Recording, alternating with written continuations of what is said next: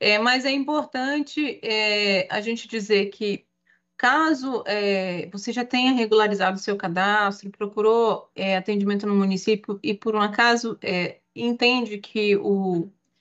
ainda falta algum atendimento, a nossa central de relacionamento, o Disque Social 121, é o caminho que vai conseguir esclarecer a sua situação.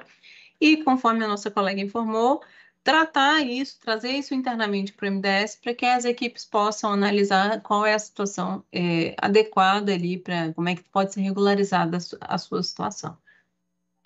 É, feito esse esclarecimento, a gente vai, a gente tem aqui, primeiramente, a pergunta é, da nossa colega Nancy, de Barra dos Coqueiros, em Sergipe, onde ela sinaliza que tem uma beneficiária que está com os benefícios de janeiro, fevereiro e março bloqueados e ela foi alcançada por ação, pela ação que a gente tem de é, CPF, estava numa situação irregular, mas ela já regularizou. Ela já voltou a receber o, o, pagamento do benefício, mas essas parcelas lá atrás não estão liberadas.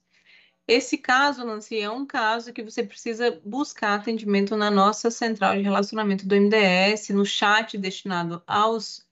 aos municípios, ou também você pode encaminhar por nós, é, para nós, via o protocolo